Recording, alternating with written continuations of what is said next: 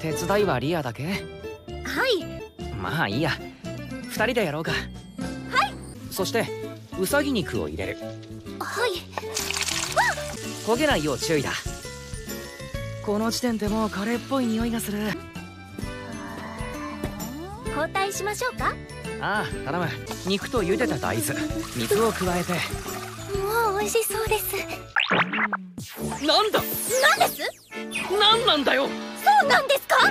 何人分いるかな？俺ルーティア。これを焼いていくのですね。ああそうだ。何かしらあれ。なんだか食欲の湧く匂いこれで最後っと。さて。がこれがカレーですか？